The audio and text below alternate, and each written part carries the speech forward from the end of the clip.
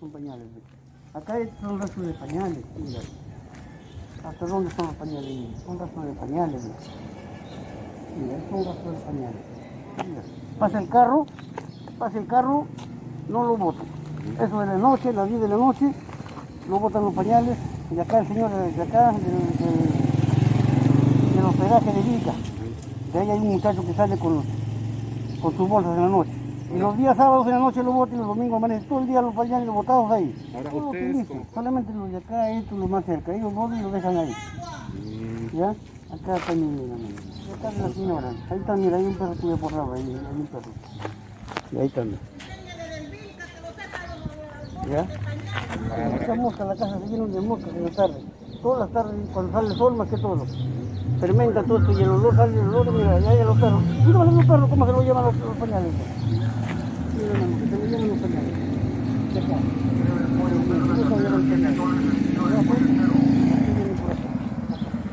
Todo eso que están en la pista son pañales, hermano, son pañales. Utilicen, por eso le hemos puesto que lo utilicen.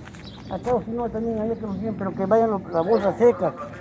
La señora de la esquina pone sus bolsas que escurre de, de pescado todo eso. Mira, hermano, te das cuenta, mira. Un olor moribunda para adentro, feo, hermano, feo para la casa. Uno tiene que estar con la administración porque también adentro es malo estar encerrado. Pues. Le hemos dicho acá en el hospedaje un señor, un, un muchacho de gorra que sale siempre, ya le hemos llamado la atención una o dos veces, pero de un así. Que ya, que ya lo va a hacer, que ya lo va a hacer, pero al final de cuentas no lo hace. Pues. Sigue votando en las noches, sigue votando los días sábados, en la noche lo vuelve a botar la basura con los pañales. El día domingo no pasa el carro. Pero que este, el municipio lo mismo que nada, uno le llama la atención, le dice, se comunica, no, no hace nada. Lo que reclamamos es que una vez que el alcalde ya se manifieste con las multas, para poder nosotros informar quiénes son las personas que y los multen para que se aprendan. pues. Bien, pues, dos veces ya esto acá. Por eso que el señor de acá se, se ha puesto su canastilla acá y nos ha puesto una canastilla allá para poder botar la basura.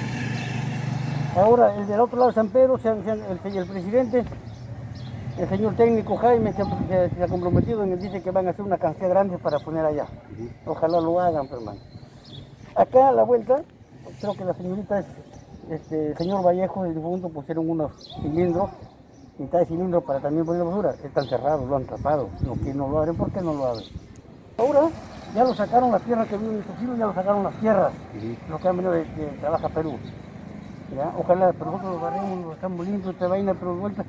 Acá, ayer, gracias, ha estado todo limpiecito, hermano, todo limpio ha estado. Pero desde que amaneció esa bolsa allá rota, todo esto en la, en la medianoche, se de vuelta se ha vuelto bien hartudito, mira. Bien.